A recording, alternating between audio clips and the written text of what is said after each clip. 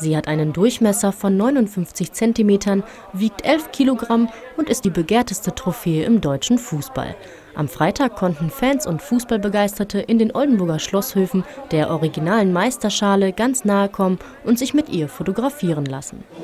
Ganz tolles Gefühl. Ich habe die mal anfassen dürfen, als Eintracht Braunschweig deutscher Meister geworden ist, 67. Und das war jetzt schon ein tolles Gefühl. Und das ist meine Enkeltochter, die ist Werder Bremen-Fan, ihr Papa auch. Und da wollen wir ein Foto mitbringen. Oh, herrlich, es war echt super. Wo eine Meisterschale ist, da können auch die deutschen Fußballmeister nicht weit sein. Ex-Bundesliga-Torschützenkönig Ailton stattete den Schlosshöfen einen Besuch ab und erinnert sich auch heute noch gerne an den Moment zurück, in dem er mit seiner Mannschaft die gefeierte Trophäe gewann. Das ist mein bester Moment in meiner Karriere, das ist 2004 mit der Bremen. Und heute oder gestern und morgen wieder nochmal mit Schale ein bisschen Kontakt zusammen hier. Das ist so viel, viele Emotionen. Ob Werder Bremen oder Bayern-Fan, ein Foto mit dem berühmten Brasilianer wollten alle. Doch vor allem für die eingefleischten Verehrer des grün-weißen Vereins war das Zusammentreffen mit dem als Kugelblitz bekannten Fußballer ein besonderer Moment.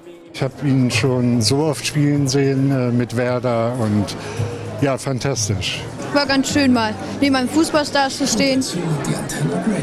Ja, hört leider auf, aber irgendwie hat mir ja mal sein Alter erwischt, wo man aufhören muss. Ne? Ich versuche ihn dann schon seit 2004 seit der Meisterschaft zu erwischen und endlich habe ich ihn mal erwischt. Habe jetzt auch in Oldenburg beim Hallenturnier versucht, aber da war kaum ein Rankommen bei ihm. Also von daher, ich bin richtig froh, froh darüber, dass ich ihn heute mal erwischt habe. Endlich mal, nach zehn Jahren. Nach erfolgreicher Titelverteidigung wird in diesem Jahr der FC Bayern München die Meisterschale in Empfang nehmen. Auch für die Zukunft malt der ehemalige Werder-Spieler den Bayern gute Chancen aus. Bayern München ist immer der Favorit. Es ist eine beste Mannschaft. Und, und wir bleibt diese Mentalität von jetzt von Pepe Guardiola, haben sehr gut Fußball gespielt. Ähm, Dortmund ein bisschen hinter, aber ich denke Bayern ist noch Favorit für nächstes Jahr wieder deutscher Meister. Neben der Meisterschale durften sich heute ausnahmsweise aber mal alle als Meister fühlen. Die schönen Fanfotos konnte man sich sogar zum Mitnehmen ausdrucken lassen.